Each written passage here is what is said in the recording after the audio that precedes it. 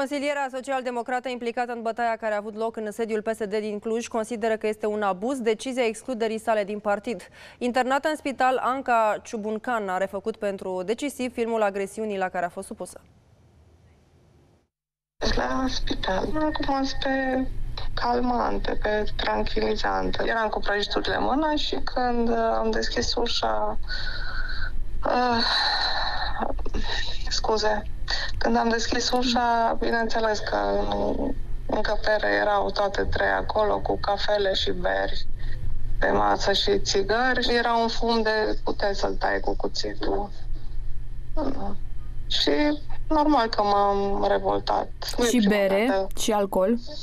Da, era, era cu beri pe masă, da. Aveau trei beri, cafele și țigări. A reacționat foarte urât uh, doamna Sacali și a spus că nu-i partidul sau ceva în genul, că nu partidul lui mama. M-am dus la mașină, mi-am lăsat prăjiturile și m-am întors cu telefonul să le înregistrez. Când m-am întors cu telefonul să le fac o poză, atunci au sărit, au sărit toate trei de pe scaun. Sacali și a fost prima lângă ușă m-a lovit, mi-a și spart telefonul. M-a jurat, am vorbit lucruri mizerabile care le-a zis. Celelalte două m-au împins afară, că eram chiar în ușă și au venit spre mine și m-au împins prima dată așa de umeri. A doua au venit cu piciorul și mi-a dat o burtă.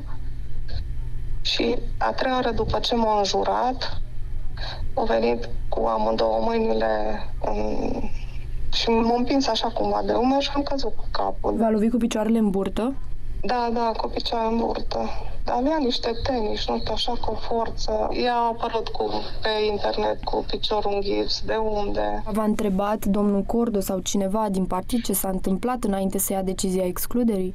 Nu, nu, nu, nu, nu. Unde? Dar nici nu m-au sunat să mă întrebe dacă trăiesc sau am murit.